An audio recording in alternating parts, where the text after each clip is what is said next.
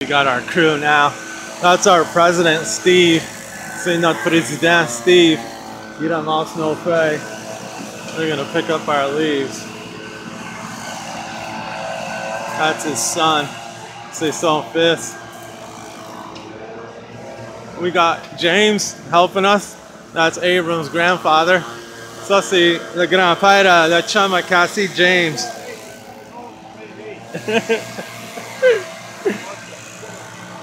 we got quite a work crew.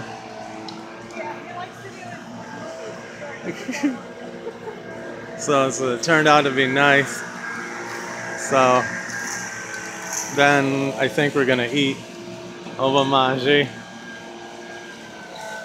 with the, the Cub Cadet. Steve does a lot for this camp. Steve fait beaucoup pour le camp. So, bye from Morris Camp. Salut to Morris Camp.